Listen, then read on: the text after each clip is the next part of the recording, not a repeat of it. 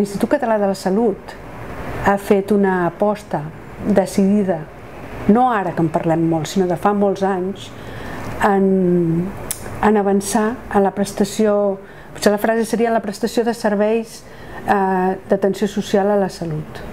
És a dir, aquesta visió àmplia, que ja portem anys, jo penso que l'ICS n'ha fet una aposta decidida des de fa molt de temps. De fet, el que potser la gent no sap és que el treball social va néixer als hospitals.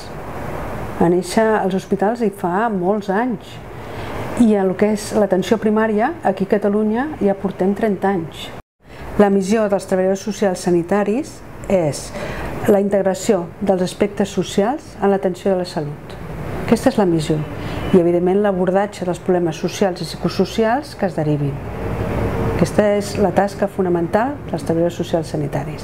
Nosaltres ens centrem en les persones malaltes i amb les seves famílies, amb els efectes de les malalties, en la prevenció de les conseqüències de les malalties i jo diria que del mateix fet d'emmalaltir.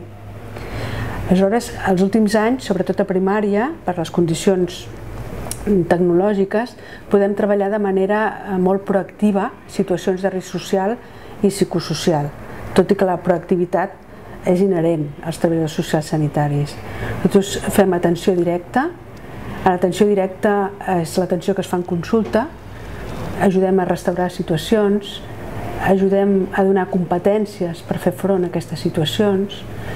I també treballem de manera grupal i de, amb atenció comunitària. I ho fem amb tots els actius del sistema sanitari, amb metges, amb infermeres i també amb, amb les altres àrees del benestar.